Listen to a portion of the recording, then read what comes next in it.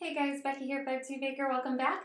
This week we are working on these big, beautiful sugar peonies. I love them so much and it's taken me such a long time to figure out how to get them exactly how I want and I finally have, so I'm super psyched to share it with you guys.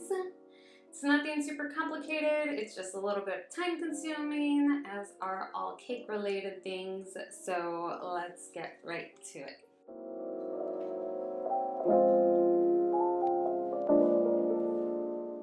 So we're gonna start off by taking our one inch styrofoam ball and cutting it right down the middle so we have two equal parts. We're only gonna use one side though.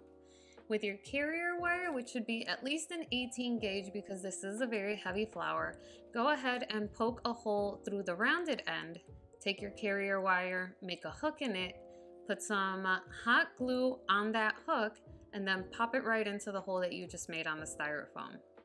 Then you just carefully wipe off any excess glue. You don't want to burn yourself and let it dry for a minute or two. Once your hot glue is dry, go ahead and bring that back along with some green gum paste and add some edible glue to the flat top of the styrofoam. Grab a little bit of green gum paste, roll it out really thin, and then put it on the top to cover that white styrofoam. This way, if you look at the center of your flower, you won't see any styrofoam, you'll only see green. Press it down into place and take off any excess. And then with the rest of your gum paste, we're going to finish working on this center. Go ahead and roll out anywhere from three to six little balls. You take each of those little balls, you taper it into a teardrop shape, and then on the thin end, give it a little tug and a squeeze to flatten it and you want this to be about a half inch in height so that in total your center is about an inch tall. Once you're happy with your centers, go ahead and add some edible glue to the flat side of your styrofoam where the green now is and place your little teardrop shapes on it however you like. And once you're happy with the placement, go ahead and set it off to the side to dry. Now that your green center is dry, we're gonna go ahead and add some color to it using color dust. I like to use a bright red and I add a little bit to the tips of my center. I make sure to dust the front and the back of each tip and then any extra red that I have, I just fade it away towards the bottom. For the bottom of these, I will add a darker shade of green than what my gum paste is, and then I will drag the remaining green color dust that is on it to the top so that it fades away. This way from bottom to top, I'm going from a dark green, faded, light green, a faded red, and then a dark red tip.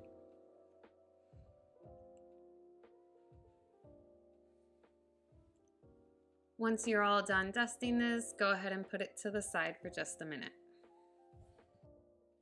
To attach the stamens to our centers, we're gonna use some gum paste. So go ahead and grab your gum paste and roll it and flatten it out into a shape that resembles a piece of tape. So you want it thin and long. Once you have that, go ahead and put some edible glue all across the top. And for this center, I'm only going to use two bundles of peonies because my peony stamens are double-ended. I'll take each of those two peony bundles, I'll cut them in half, take the little piece of tape off the center so that each stamen is loose, and I'll lay it against this piece of tape.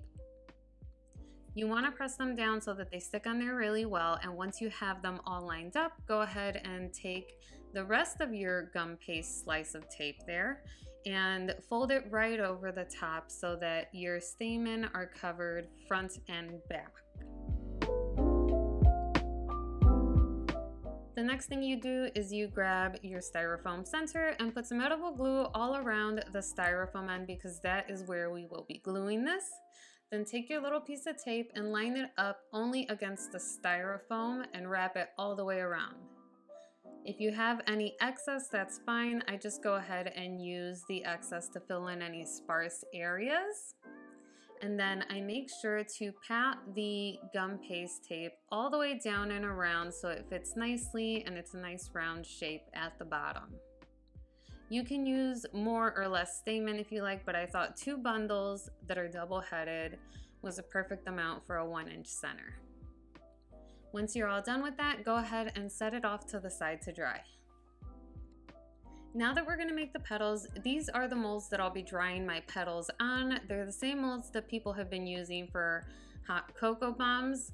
I think that they are the perfect shape to get that round peony shape, but you can use anything you have laying around.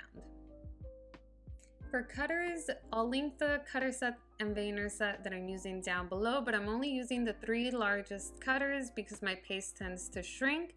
So definitely adjust accordingly if your paste does not have any shrinkage. Now that we're getting into the petals, this is the plan that I am following for this tutorial. Feel free to add more or take away and have less petals. For the small cutter that I showed you, I will be stamping out 12 petals. Five of those I'll leave whole and seven I will be cutting in half to have half petals. For the medium cutter, I will be stamping out 10 and leaving them all whole. And for the large cutter, I will be stamping out eight leaving four whole and cutting four of them in half. This is to give my petals variety in shape and size and so that everything isn't as heavy and I still have a light fluffy flower. I also recommend working in sections, so do the small petals first, let those dry up once you glue them on your flower. Do the medium petals next, let those dry up as your flower dries, and then do your large petals Add those to your flower and then let those dry up. Here are my small petals, and when I say cut them in half, I mean lengthwise. So this is what they should look like. Then once I have everything stamped out and cut in half, I go ahead and take each petal and I give it a little more variety by adding extra slits, a little more wave, and I do those things just because all my cutters look the same and so I don't want my flower to look too cookie cutter. There are cutters out there that you can buy, but I don't make peonies as often as I'd like, so embroidery scissors do the job just fine for me. I go ahead and do this cutting of the slits and the waves, all that variety for all of my small petals, my medium, and my large.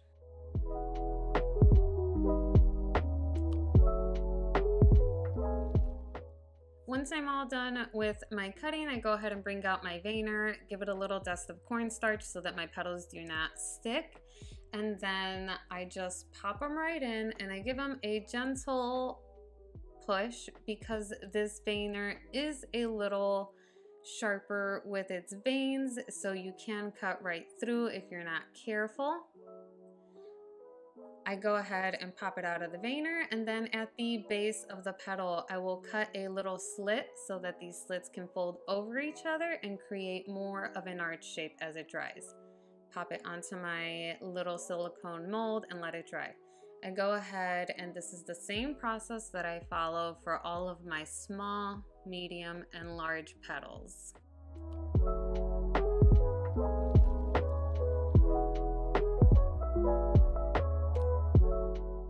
Now once I've veined out a few petals, the next thing that I'm going to do is as they're drying before they dry fully, once they're just a little bit firm, I take each petal and I put it on the palm of my hand and using the rolling ball tool, I go from the outer edge towards the inside just a little bit to give it a little more of a round shape so that it cups a little bit more and again it looks a little more alive and has more movement.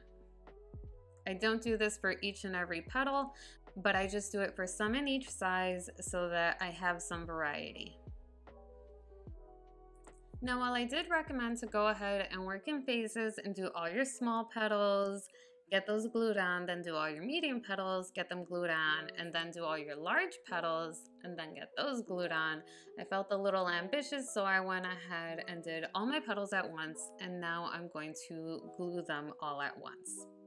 When I do this, I go ahead and line up all my petals by shape and size. So my smallest halves are together, then my small whole petals. my medium whole petals are together. Then I have my half large petals and my half whole petal because this is the order that they will go on when I glue my flower. Now the last thing that we're going to do before they go onto our center is to make sure to glue them closed, so those little slits that we cut, and to also glue them in clusters. So I don't like arranging my peony petals one by one onto the center because then my petals look like they're lined up like nice rows of little soldiers and I want it to be a little more random than that so this helps me. What I do is by size, I will start with the small half petals and I will group them in pairs of twos or threes and I want them to be slightly angled so that they look like little angel wings. I'll also leave some off on their own to act as fillers or in case there's a space that just needs a little petal. Or I'll also attach some of them to the small whole petals or the whole medium petals. Again, these small petals are to add variety and just make the flower look full without adding as much weight by having whole entire petals on there.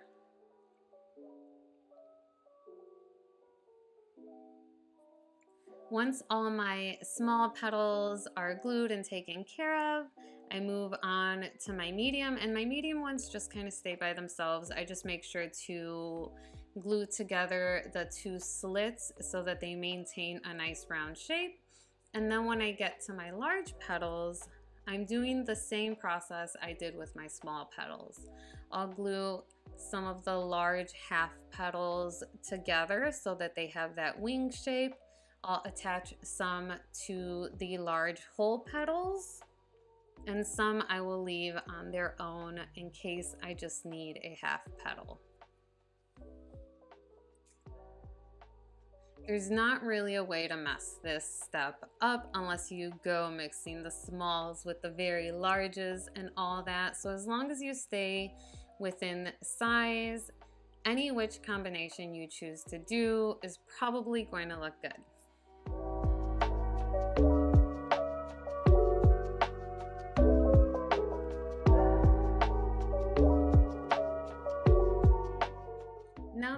Petals are all set up and ready, I go ahead and bring back my center and starting with the smallest half petals that I have, I go ahead and glue them on.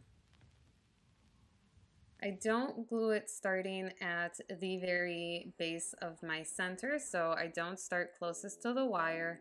I just go ahead and align it based on how I want it to look visually. So I want my petals to sort of hug the center so it looks like it's still opening, it's not fully opened. So that is how I'm deciding to align them at first. Now the larger your petals go, the further down your center and closer to your wire it will naturally go so that you retain the round shape. So don't worry about the exposed bottom of the center at the moment. I start off with three groups bunched in the center and after that the only rule that I follow is making sure that I don't have open gaps. So I go around it over and over again, occasionally checking by looking at it to make sure that I don't have gaps and that everything is looking just fine.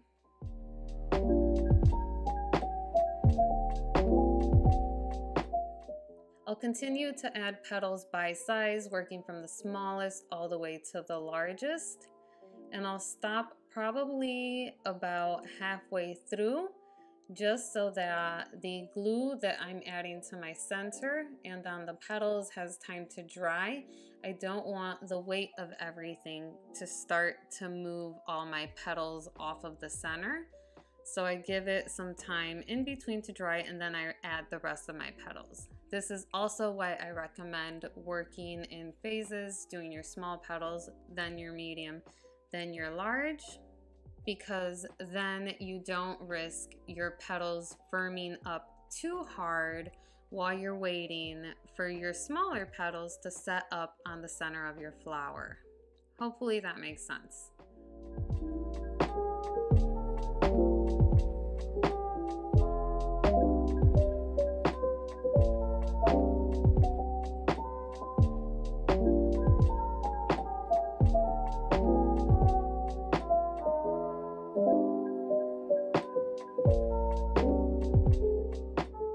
Now once I'm near the end of my petal count here, the last three, maybe four petals that I have, which are the largest, I'll go ahead and instead of placing them on my flower where they are cupping towards the center. I put them upside down so that it looks like they are opening out. These are the petals that have been on there the longest and so they are starting to just completely open up and wither away. That's the effect I'm going for. You don't have to do it. You can keep them all cupped towards the center, but I think it's absolutely gorgeous to add that opening effect to my flower. Once I'm all done, I go ahead and put this to dry. I like to dry my flowers upside down so that the weight of the petals doesn't collapse them all open and destroy my work. And then you're all done.